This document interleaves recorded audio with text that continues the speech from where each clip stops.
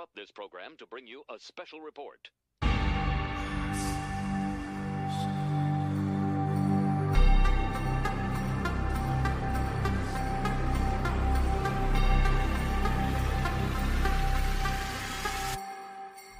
Welcome to the 2023 Dakar Rally edition of the Chasing Waypoints podcast.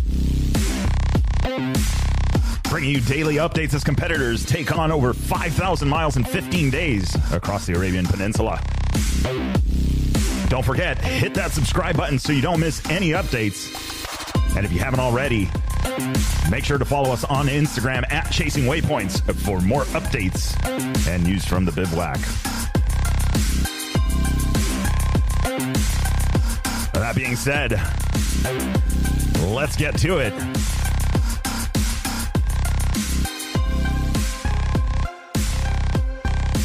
All right, what's going on, guys? Good morning.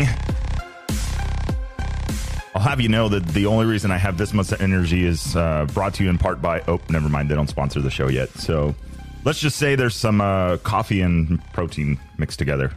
It's all about efficiency around here, especially this early in the morning. Speaking of efficiency, damn, do we have some news? Well, I mean, I knew I I, I kind of had a hunch it was feeling, you know, I maybe mentioned it in one spot only, but then I was like, okay, well, I'm not I'm not going to talk about much about it because I have an idea what's going to happen, and uh, and it came to fruition, and I'm absolutely excited about that. Um, scratching my eye, sorry.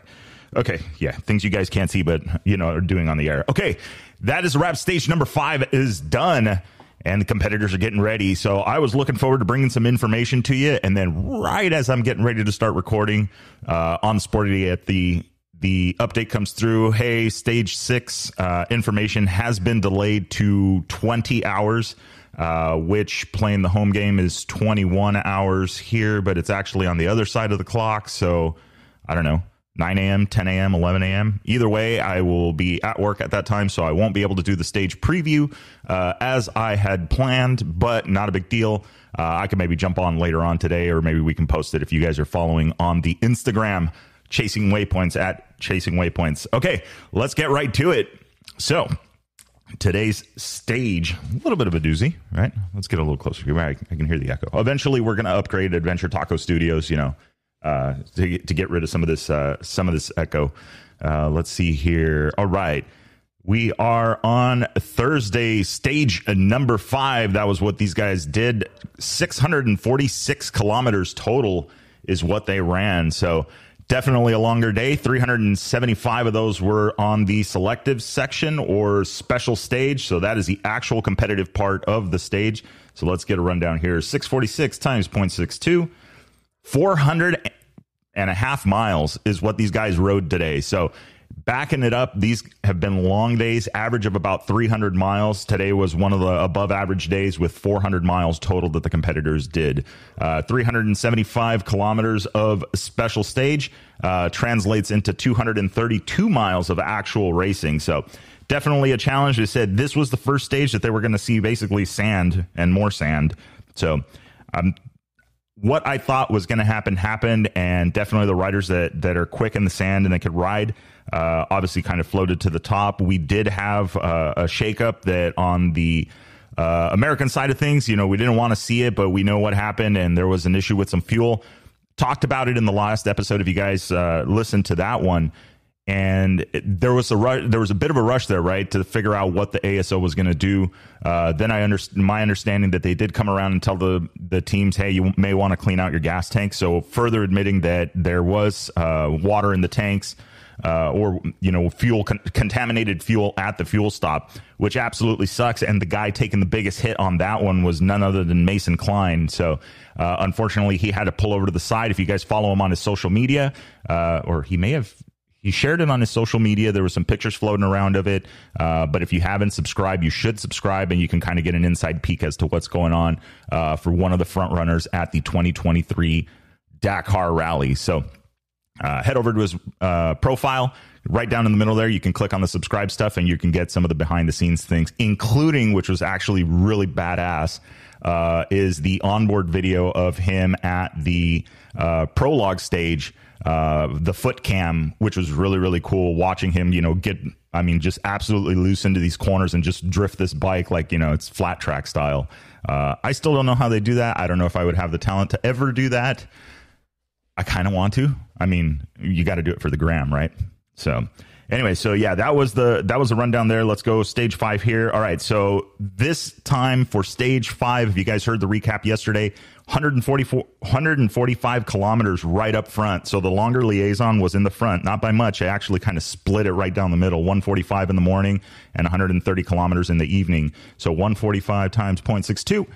All right, 90 miles in the morning is what they had to commute to get to the start of the special stage. Uh, and then when they were on their way home, they were going to have to ride another 80 miles after the end of the stage. So liaisons, it's an interesting thing, right? Basically, you're trying to pick the best spot to house this city of, you know, that according to uh, our our friends at the American Rally Originals, we, if you guys heard the episode before the rally, uh, we were talking with David and Jim Pearson, and they were saying that they have an estimated about 9,000 meals that they have to serve a day. So that's absolutely crazy. They've got this floating city that they've got to ring. So they got to make room for this floating city. That floating city just doesn't fit anywhere. Yes, there's plenty of room in Saudi Arabia, but that still doesn't mean you can just put it wherever you want. Uh, so you are going to have to commute from where that city is to where the start of the stage is. Now, the cool part about that is, is there's there's a couple of things too. Is by keeping the liaison secret, or you know, like how they have them as programmed into the ERTF unit, then you help eliminate that you know like map men and and doing that. Now they've already done a good job about that, right? So for those of you who don't know, uh, map men were the people that uh, certain teams would hire and they would feed them the road book and with basic information these guys were basically able to recreate the map and even then recreate the map and let them know hey when you get to note 177 just keep straight on that road and then jump down to one note 190 you'll be right on top of the waypoint.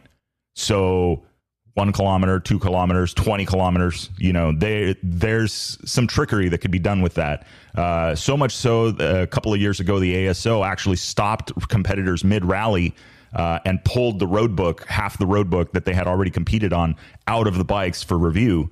And some of the bikes were even caught with notes on their tank of, you know, what they needed to do in the direction. So they're very, very, very concerned about you know keeping the secrecy of the route, keeping the information secret. This is just part of rally, right? Because the competition is not just riding the bike; it's also navigating the terrain and navigating this map. You know, so they've done a really good job. I think they've really moved forward on that one. Obviously, there's been some questionable rule changes that they've done in the past to get to the point that they're at now. Some stayed, some didn't, uh, but I think that they're carrying over some of the good stuff. So uh, let's get back to it here. All right, so 54% of today's route was going to be sand, and then with about 46% of it dunes. Uh, that's how they classified it, from what I understand on a quick briefing that I saw from Mason. Again, um, it was it, he was ready for sand all day, uh, which sounds pretty good. Uh, and if they had some rain, the dunes probably weren't as challenging as they could have been if it was just sugar sand from being super dry. So uh, let's see here.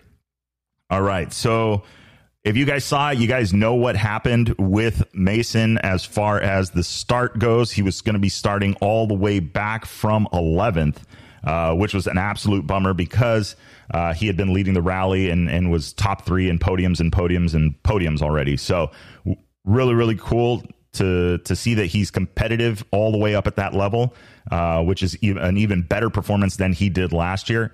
So this year he's he's a noted improvement on his riding, and then obviously his navigation has been on point last year and this year as well. Uh, even running some really clean stages with zero errors in navigation, which is awesome considering the length of some of these road books. So, all right, what does it look like today? Uh, let's look at the latest rankings. Let's go view more standings. Come on, waiting on the internet here. Uh, I don't know why I jumped to the map. That's not what I want to see. I want to see the stage results. Okay, so far. Let's see, I don't know where they're where they're moving to here. That is the general standings. That is this one. So let's see. It looks like oh, and as I am saying this, there is a refresh. Let me let me check the other app because this has been an interesting thing. I guess there was a rider that was down at the beginning or towards the end of the stage, and somebody had stopped, and there was supposed to be a shakeup of the results. Uh, so let's take a look here. Yeah, oh, that is not what I wanted to see, but uh, good on them. I mean, that's it. It is what it is. Uh, but you've got uh, leading the way first on stage number five, Adrien Van Beveren, uh, finishing up with four hours, 27 minutes, and 28 seconds. And then you have Nacho Cornejo, also uh, obviously Adrien Van Beveren this year, uh, debut at the Dakar on the Monster Energy Honda team. Uh, then right behind him, you have Nacho Cornejo, uh, Florimo, Monster Energy Honda team, 13 seconds back. So definitely uh, right on I mean, literally on his toes for considering a 400 mile stage. That is a really good. Um, that is a really really good showing. So let's take a look here. Yeah, they're they're doing something with the times because they're not showing like the full results uh, like they do in the other part of the app. They normally will show like the total time. They'll show the gap, uh, and then uh, here we go. Let's see. We'll we'll get it from their their mobile app here. Sorry about all the confusion here. Okay, so here we go. So Nacho Cornejo, uh, Adrien Van Beveren. Yeah, see now the app is there's there's some confusion. All right, guys, here's the official. It's unofficial. So the unofficial right now standings for stage number five, Nacho Cornejo leading the way, 427.41. Adrien Van Beveren, 428.09. And then it is going to be Toby Price in the number three spot, uh, 431.43. Meanwhile, Mason Klein in the number four spot, engaged. Starting 10th and finishing fourth with four hours, 32 minutes, and 41 seconds. Skyler Howes in the number five spot on the Husqvarna factory racing bike, 434, 48 seconds.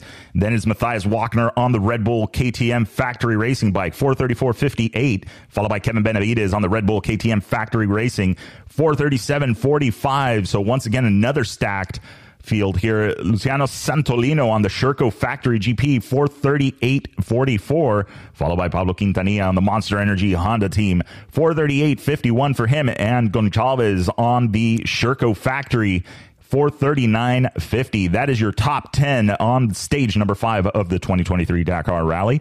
And look at that stack 427, 428, 431, 32, 34, 34, 37, 38, 38, 39 literally, that is an absolute stacked field. So if this is not a competitive Dakar, I don't know what is. Uh, that is the latest rankings right now at this moment. Uh, let's see on the standings. We've got that one figured out. Uh, Toby Price did pick up some bonus time today. Uh, looks like about 19 seconds. Uh, moving that one down. So moving uh, Mason down to fourth. So that was your top 10 for the stage results. Uh, let's look at, let's see if we can pull up here if they're going to show the standings here in the bike category. Yes, there is a shakeup. And it is none other than now Skyler Howes, your overall leader of the 2023 Dakar Rally after stage number five on the Husqvarna factory racing bike. 23 hours, 16 minutes, and 37 seconds with Toby Price on the Red Bull KTM factory racing bike. Two minutes and seven seconds back. Kevin Max Benavides uh, in the third spot on the Red Bull KTM factory racing bike. Going to be another five minutes and 16 seconds behind them. And then Mason Klein now fourth overall on the rally on the BAS World KTM racing team bike. That is six minutes and 12 seconds off the pace of Skyler Howes. Rounding out the top five is going to be Adrien Van Beveren, going to be eight minutes and 54 seconds back from the leader on the Monster Energy Honda. And now, just to get an idea, it's interesting. They're not publishing the stage time like they did before on this. Uh, so my guess is, is they're probably still doing some work. But uh, Adrien Van Beveren aboard the Monster Energy Honda team. It looks like Mason's got a little over two minutes of room uh, to breathe there. So that is absolutely awesome to see that. Let's see here. I mean, let me. I'm looking in multiple places here because now this is like kind of confusing that they're not they're not publishing certain times or certain certain things. So that my guess is is that it probably has something to do with what they've delayed on the information. They probably got some stuff they're working on. The app is running super super slow, so a lot of people are probably checking on it and, and loading up the servers. Uh, then again, also everybody here on the U.S. time side of thing, or on the U.S. side, is probably waking up to check the results and whatnot. So what we've got right now is tentative. This is what's posted on the app as of 6:40 a.m. Pacific Standard Time. Uh, Joan Barreda on the Monster Energy JB team, finishing nine minutes and 24 seconds back, or currently nine minutes and 24 seconds back from the leader. Pablo Quintanilla in the number seven spot. Monster Energy Honda team, he is 10 minutes and 26 seconds back, followed by Daniel Sanders on the Red Bull Gas Gas Factory racing bike. He is 17 minutes and 50 seconds back. Ninth, Nacho Cornejo on the Monster Energy Honda team, 22 minutes and 4 seconds back. And teammate to Skyler Howes, rounding out the top 10, Luciano Benavides. Husqvarna Factory Racing going to be 25 minutes and 3 seconds back. So 25 minutes separate the top 10 bikes right now. Your closest gaps are Toby Price to Skyler Howes. Skyler Howes, your current overall leader, two minutes and seven seconds back. And then from there, it's another two minute gap for Kevin Benavides to Toby Price. And then from Mason Klein to Kevin Benavides is a one minute gap. That is not less than a minute. 58, uh, no, 56 seconds, 56 second gap to these two. That is absolutely crazy. So third to fourth. So Mason right there on the podium on that slingshot. I, I, I just, I knew like, I, you know, starting 11th way back, fresh tracks, some tracks to follow. We talked about it yesterday. Mason's still a hell of a navigator, so not necessarily that has a whole lot of bearing on it. Like he gains from it, but not as much as other people gain from it based on navigation skills. So he's uh, he's ready to say, nope, everybody went that way, but I know it's this way. So that is very very important. So for those of you playing the home game, let's go back and do a little bit of uh, education on this. So tracks to follow. Everything is fine and dandy until everybody decides to make the wrong thing or you get to a fork in the road and 10 people went that way and 10 people went that way. And now you got an issue. Now you got to make it. Well a common mistake that occurs and a lot of people get kind of sucked into this because it gets easy is they lose their place in the road book. They're kind of figuring it out doing what they need to do and they forget that they have to navigate on their own road book as well. And this is where you catch things. So last year's Dakar early on in the rally, that was one of the things that put Mason out front or helped put him out front was his ability to find one of the waypoints when other people were struggling to find it. That was absolutely key in keeping him up front. That cost a lot of the factory teams a ton of time, literally right then and there changed their Dakar from the right from the beginning. Ricky Brabec, one of the noted ones there that uh, suffered from that one, and it is unfortunate. It sucks. It's a you know people will will regard it as a weaker note in the road book, but some people find it, some people don't. And in that one, Mason coming out ahead for that one. So he's been navigating clean this rally and been do, putting in a really really good show. Considering this is his first time uh, being promoted late in the race to uh, Rally GP, so now in the pro class, uh, coming up from the uh, Rally Two class. So I think that this year is going to be a very, very important year as far as his career goes going forward uh, with the rally. He has done very, very good so far, uh, and no signs as to why this would not continue on in the rally. So I'm happy to see where he's at. I think he's within striking distance of the podium, obviously, uh, and even striking distance of picking up that big W, which would be awesome. He is officially the youngest stage winner for the 20 uh, for the Dakar Rally, and it came at the hands of stage number three for uh, this year. Let me make sure of that. I feel like there's been a. I, it's weird because now I feel like this has been a, a longer. Nope, it was stage number. No, it was stage number. There it is, stage number two. My bad. So, stage number two of the 2023 Dakar Rally is when the record was set for the youngest competitor, uh, and that is to win a stage, and that is Mason Klein. So that was again on stage number two. So a lot going on. I'm curious to see what's going to happen with this next one uh, or this next stage. Uh, stage number six. We will definitely get you guys the stage rundown as soon as it becomes available. I'll try and figure out how to get that out. Uh, but I'm definitely looking forward to it. These are the results for it. We do know a little bit about stage number six. I can give you guys that information right now at the moment. Uh, so another big day. And this is actually a much bigger day. So getting into the weekend, we're getting really close to the rest day. And man, are these guys going to need it by the halfway point, they would have ran 3,300 miles by the time they reached the rest day, which is tomorrow, today, tomorrow, and one more day. So three more stages before the rest day. Tomorrow, though, is going to be the longest stage they have ran so far 877 kilometers total. So let me get that on the calculator here 877 times 0.62 543 miles total is what they're going to be running tomorrow. So that is a absolutely brutally long stage. Uh, 543 miles total.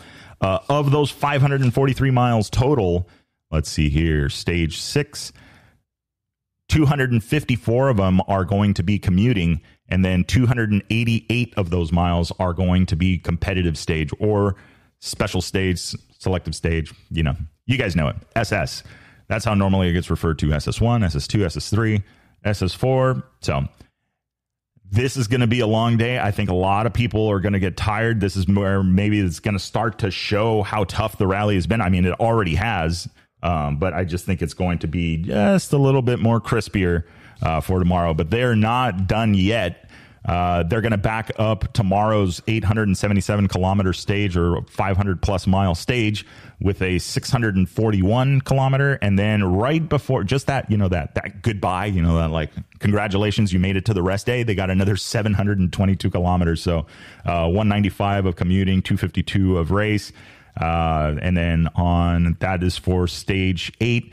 Stage seven is 104 commuting and 293 miles in uh, race stage.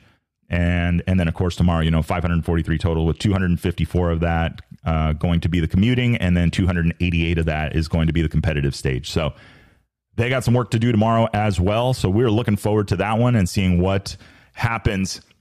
But I am absolutely stoked to see Mason Klein right now sitting how it sits right at the last update. I was stoked because it was it was showing it was third place for a long time for him, uh, and then all of a sudden it updates and Toby Price gets into that third spot and then moving Mason down to the fourth spot. So we'll see. It sounds like they're still shuffling stuff around. Stay tuned. Make sure you're following the Dakar Rally Instagram. Make sure you're following the at Chasing Waypoints Instagram. And if you haven't already, make sure you get over to Mason Klein's uh, Instagram and get subscribed to that one. Also, you know, following uh, Skyler Howes at Skyler Howes 110. That's the other one you guys want to be following. And then, of course, you have the American Rally Originals uh, on Instagram. You have Race and Ace for uh, Ace Nilsson, Jacob Argubright 911. Uh, and then you have let's see who else, and then Peter Angelo Vec under Wolfie Racing. So you got a few different people you could be following on Instagram if you were listening to this from the U.S. side of it uh, and talking to those guys and what they are, uh, or following along on what they are doing. So I'm absolutely excited to see how this how this shakes down. I'm hoping they're done with this whole results shakeup and we can get some official times uh, on stage and we can continue on from there on to stage number six. Again, stay tuned for the information or the breakdown of stage number six. I will get that out to you guys as soon as I can. Make sure you are following uh, at Chasing Waypoints as I will put uh, put the information there. So anyway, with that being said, guys, don't forget shiny side up on the gas, and it'll make sense when you get there. Enjoy the ride.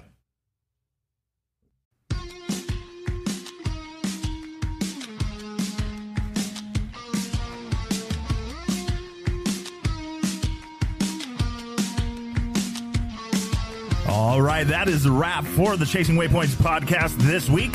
Hope you guys enjoyed the show. Don't forget to like and subscribe if you like what you heard.